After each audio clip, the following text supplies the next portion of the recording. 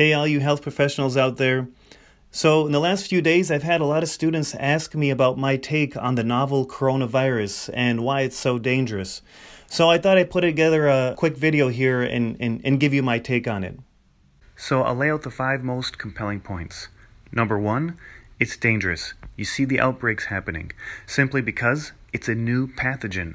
Our far superior adaptive immunity never catches it.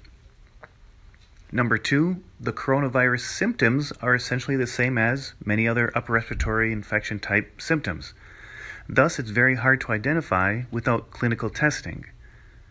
Number three, we associate severe symptoms with danger, but the novel coronavirus also causes no to mild symptoms, leaving us unaware even after we contract it.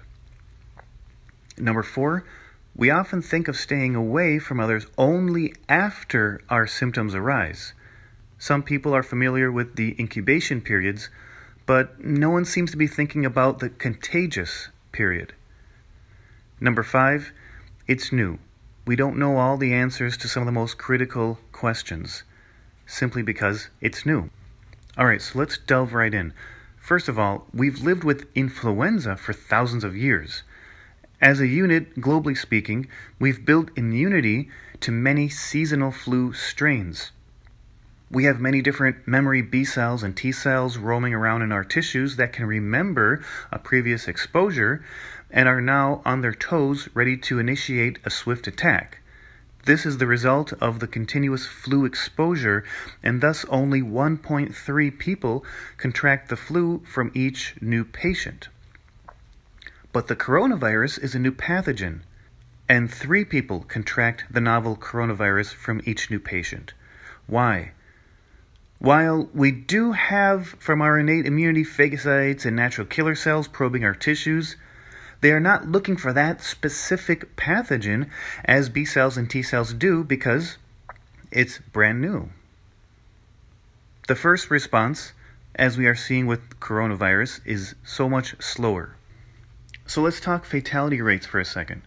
The flu fatality rate is around 0.1%. Now, for coronavirus, the numbers are still pouring in, but it seems it can be as high as 3.5%.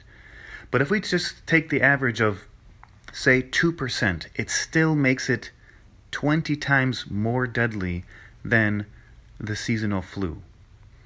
The second reason is that coronavirus could be mistaken for the flu. What do you do when you get the flu? You take some zinc, you take some vitamin C, although usually it's already too late for vitamin C, and you take some fever reducing meds and you wait it out with the assumption that everything's going to be under control because that's generally the case. You generally don't go to the hospital or anything.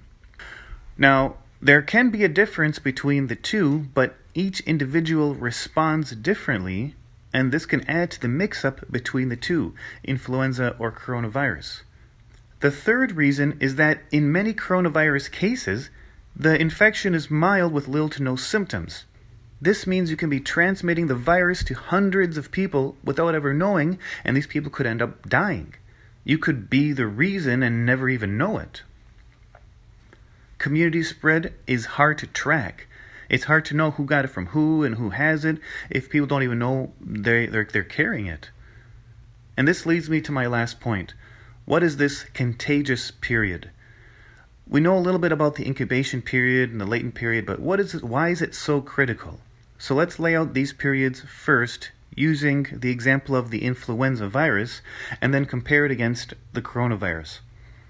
If we draw out a graph here showing infection over time, the incubation period is the time from contracting the virus to the beginning of showing symptoms. For the flu, the incubation period can be anywhere from one to four days, but it's typically 48 hours, so let's use that in our example here. This means that for two days, a virus is hijacking your cells to replicate before you even begin to notice and feel sick.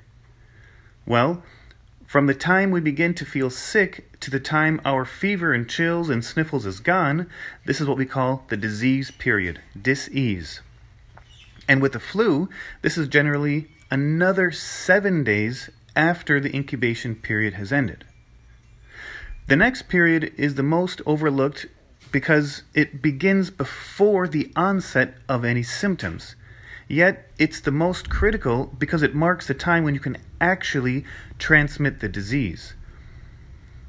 From the beginning of being infectious to the end of being infectious, this is the contagious period, or you can say the period of communicability. This is when your nose starts running and you got a sore throat and you distance yourself to keep your friends and family from contracting it, but unfortunately, it's very likely you've already infected them because you've already been in the infectious period for a day, or even two days, or three days. Finally, the last period is the latent period. This is the time from contracting the virus to the time we become infectious.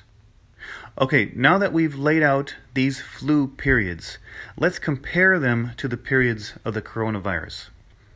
As the data comes in, we're seeing that the incubation period is around five days, but it, in some cases it can be as long as 14 days. So let's use that here in our example. So, why is this so significant? Because it makes it harder to track and know who should self quarantine which is why it's a good thing that governments have slowed down and shut down businesses and schools. It's really the best way.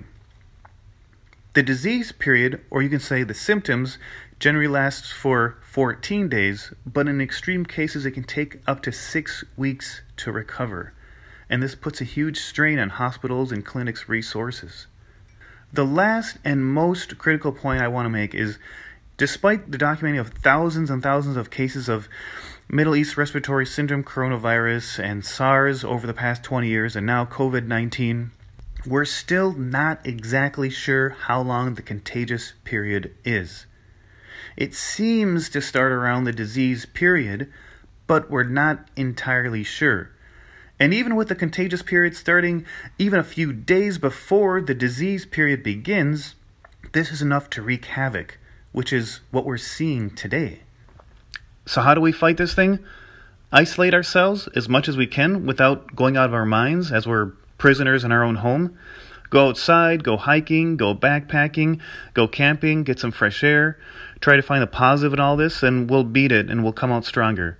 I took a picture of these two last spring. Hope you like it. All right. Thanks everyone for watching and be safe.